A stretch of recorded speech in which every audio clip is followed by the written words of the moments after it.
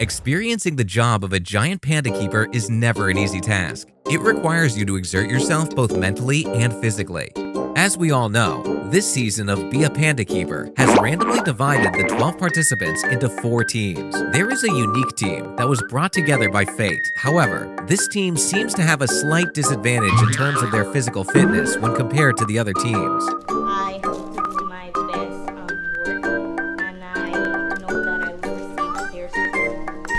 support. Girls power! This team seems to have no advantages in physical strength when compared to the other teams. 我觉得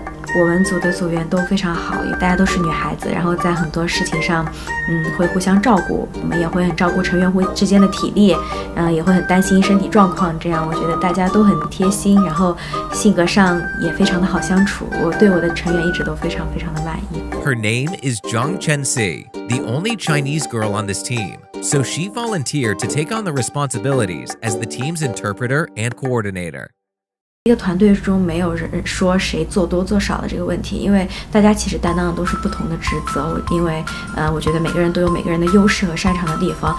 呃，像像 Killer 他像我们的团队的心脏这样，作为队长一直在带领着我们。然后那个 Miho s a n 他的熊猫知识储备非常丰富，我觉得他担当的是一个大脑的大脑的这样一个功能。然后我的话，因为我作为队里唯一的中国人，所以呃会。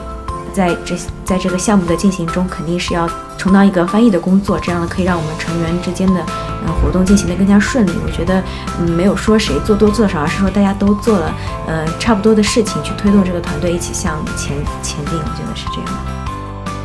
Clear thinking and enthusiasm are the most prominent identifiers for Zhang Chenxi. However, some of her failings have also become apparent as the experience continued on. 我觉得其实零点二五这种东西也不重要，你都跟人家差那么大了，谁还差那零点二五？减肥点不是在这儿，减肥点是在你们的绕路和没有考虑到孩子的感受。我们没有考虑到孩子的感受。They said we didn't care about the children. You know that way you need to show them the right. Show them everything. 处在团队团队当中，不可以，我不太敢就是轻易的去替其他人做决定。很万如果万一我做的决定出现错误，导致整个。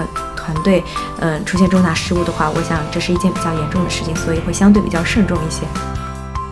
Some impatience, concerns too focused on preventing mistakes, plus weaker physical attributes make the score advantages the team achieved in the beginning fade away in the later period. How will they cope with these issues?